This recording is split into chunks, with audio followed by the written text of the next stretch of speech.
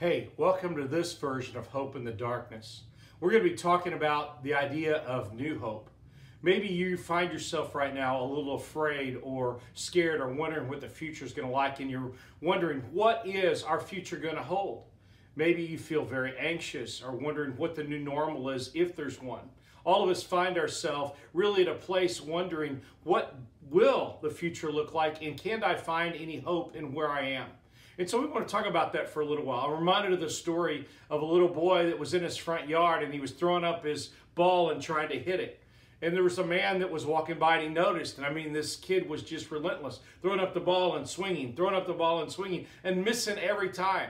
The man got out, walked over close to where he was. You could hear the little boy, I'm the greatest hitter in the world, throwing up the ball and swinging. He did it for a long time. And the, the man went over to the young boy and said, Son, aren't you discouraged? He said, No, I'm the greatest hitter in the world. So the man kind of backed off and watched. He kept doing it. And finally, the boy changed his tune. He threw up the ball and he swung and he missed. And he went, I'm the greatest pitcher in the world. He had an attitude adjustment or a change in what he was looking at. I know that even in my prayers with God, that I think, oh, God's not answering the way I want. But the truth is, God is answering. But God doesn't need me to advise him. He's still looking at the world and what's going on. And what I realize is God is saying yes sometimes and no sometimes. But often he's saying, wait, I'm working on this. it's, it's my timing. I'm involved in what's going on, but we just can't wait for how God's going to work. And we also, God continues to provide, provide hope, but do we see that God provides hope? In fact, there is hope in the future, even in the situation that you're in now. Sometimes we might need an attitude adjustment or realizing that our job is not advising God. Our job is to follow God and to listen to Him and to realize the things that He has hope for us in our life. There's even another story that may be a little more cruel that there was a, a man that didn't like a child, and so he took um, some manure and he put it in a box and gave it to the child. And the child opened up the box and he saw the manure and the child was so excited and the man was so discouraged about how could this could happen. You know, I, I was trying to discourage the child. And he said, why are you doing this? There is manure in this box. And the child said, if there's this much manure, there's got to be a pony around here someplace. I know it's not a great story, but I do know this that God continues to work in our lives. And sometimes we take things and we have made them all bad, but God is working in our lives and He said, it's going to be okay. In fact, God wants us to know that there is grace and grace for right now. No matter what you've been through, no matter what you feel, no matter what's going on, there is grace. The second thing God wants us to know, I think, in the passage we're going to look at today in Romans chapter 5 is that there is reconciliation, that you can find healing in where you are. In fact, God says, I want you to know that everything's going to be okay if you will trust in me. You see, not everything that God has planned is answered in this life. Some of it's actually answered in the next life if you believe in the resurrection, and I do. And I hope you do too. That God is constantly working, and God is more concerned about you being with Him in heaven than He is about you having the greatest time right now, but He wants to give us joy. So God says, hey, there is grace for now, and there's reconciliation. In fact, when we look at Romans chapter 5, and I hope that you'll read this later on, that there's a couple things that because of Christ, number one, you have hope. No matter what your situation, no matter what you're going through, no matter what your future looks like, or what your past looks like, or what your present looks like, there is hope. You have it because of Christ. Verses 1 through 5. In fact, there's this idea that this, the Spirit is right there with us and He's helping us no matter what we're dealing with. Number two, verses 6 through 8 uh, Christ died for sinners, so you are loved. You need to know that you are loved. It makes a difference in your world right where you are right now. That no matter what, no matter what's going on, no matter what you feel with other people, no matter what broken relationships you have, whatever, Christ loves you. And then verses 9 and 11 is because of the resurrection, you have confidence. That even if you feel broken or wonder how you can get through this, God provides confidence for you. Now, there's some hard things in this text because it says, Suffering really produces good stuff. And I know that we often don't feel that and we do not want to go through suffering. But there's no questions that hard things in my life have produced better things in my life. Not everything that's hard, but often through hard things I've learned a lot. The other part of this text that may be a little hard for us to stand is the idea that God gives us His Spirit to help us through. And we wonder, what does that look like? Well, I think it somewhat looks different for each person, but God's Spirit is involved in what's going on. And that God's timing isn't ours. And that's what I struggle with. Because just at the right time, God is acting. You see, God has continued to demonstrate His love for us, and we should rejoice.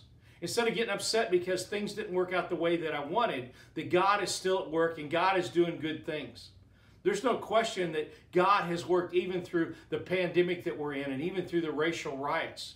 But we hold on to God and find ways to rejoice and ways to connect to people and realize that God's timing is better than ours. Even though Satan wants to be in control and Satan is all about chaos and all about fear, that God is still active. You see, we need to change and we change because of our hope. I was with a family and they were struggling because there was a diagnosis of cancer and it was extremely dim. And so they said, I just want to find hope. But God doesn't always answer this way, but for that family, God gave them more years. Didn't completely take care of cancer, although there was a time of cancer free. But the answer to that is here are some more years. I will tell you selfishly for uh, people in my life, I've often prayed that they will be here longer, but I think sometimes I've prevented them from the eternal glory because of my own sense of loss. In the midst of your world, God is at work. Will you trust Him with it? You're going to hear from just a few minutes from Samantha Mankey. I've had the privilege of knowing Samantha, and God has really helped her through some amazing things death of both her parents, some abuse, and other things. But God has constantly answered. She's chosen to follow Him. She's been a witness, and I hope that you'll listen to the things in her life. But listen to this the very end of Romans chapter 5. So, Christ will surely save us from God's anger because we have been made right with God by the blood of Christ's death. While we were God's enemies, he made us his friends through the death of his son. Surely now that we are his friends, we will be saved through the son's life. And now, uh, not only that, but we will also be very joyous in God through Christ our Savior. Through him, we are now God's friend again and have confidence. May you find confidence in this world.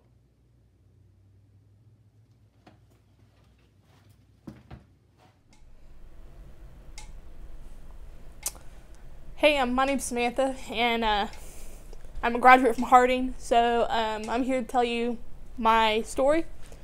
Um, growing up, didn't really have a great childhood um, in a way that people think I did. Um, my parents never went to high school or went to college, and so stepping into my teenage years was kind of difficult and kind of establishing who I was and who I wanted to be. Um, so, met a high school history teacher when I was in ninth grade, and um, she kind of led me to Harding. Went through the Upward Bound program, and that was a big part of how God intervened in my life. Um, when I was 19 years old, sophomore at Harding, and I studied nursing, um, my mom had a massive heart attack suddenly. And um, that, I could say that was probably the most traumatic thing that's ever happened in my life up to this point. Um, every a night for about a good solid three days, I'd come in late because I studied with friends and stuff. And um, and so I woke up on a Tuesday morning and had 30 missed calls on my phone. And I called my sister, who was 16 at the time, and she said, "Hey, like mom's in the ER, like she had a heart attack." And I'm like, and you know, I kind of blamed myself for it because I'm like, "Oh, what did I do?" You know, as I'm a bad daughter, you know, all this stuff. And so anyway, like I rushed there, and I never got to say goodbye to my mom, which I regret. You know, in a way, it it's like I'm 19 and I'm losing my mom, and you know, I felt my life was falling apart.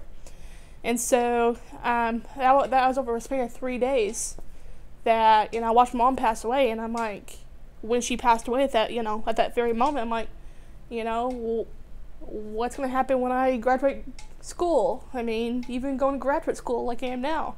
Like, she's not going to be there, you know, when I get married, all these things. And so, um, that to this point is still hard, but I mean, God has put me, you know, like, got me through it, and, uh, which I'm grateful for, because during that time, and even b- before that time, like I said, He's put people in my life to help me through it. Um, he's put Heather in, in, my life, which is my high school history teacher. He's put Upward Bound in my life to guide me and love me because I wasn't necessarily there for the academics. I was there for the social and the emotional stability and the family that I have created over time. Um, I had a, I mean, I had friends, but whole, I have a whole lot more friends than I did back then. And um, the really biggest thing that helped me through all this is being involved in church. I know that's kind of cliche and everything, but um, just being involved in older ladies' Bible class, like Sunday morning Bible class with Dr. Casey, it's been really helpful for me and kind of getting grounded on who I am in God because I know I'm not the only one that struggles with that. Everyone else does struggle with that from time to time. Um, being involved in um, my other peers' Bible studies as well. Um, I was never involved in a social club per se, but uh, and I'm I'm okay with that.